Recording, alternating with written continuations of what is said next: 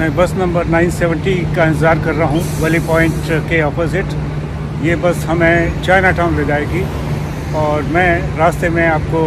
सभी जो दृश्य हैं वो दिखाऊँगा कि सिंगापुर यहाँ से लेके और चाइना टाउन तक कैसे नज़र आता है। आइए चलते